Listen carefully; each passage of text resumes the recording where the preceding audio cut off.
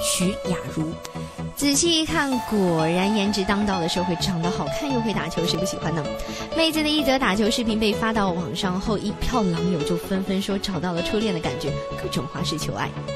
和别的五大三粗的打球妹子不同，雅茹同学发球还说谢谢，站上罚球线也是萌萌的画风，打完比赛还很礼貌的鞠躬。于是乎，很多班上的男同学都会约她放学后打球。更厉害的是，人可不是球场上的花瓶，他的拿手好戏是三分球，高命中率常常让对手惊颤。不过因为打球，他也经常受伤，高中毕业照都差点是拄着拐杖拍的。不过一直到现在，大学快毕业了，篮球仍然是他每天都要进行的活动项目之一，春夏秋冬每天都会练球。小然作为同性也真心喜欢这样的妹子，耀眼有颜还会篮球，这得是多少男生的理想型啊！你们觉得这个妹子怎么样？好了，今天的分享就到这里，看最酷炫的极限运动，关注燃运。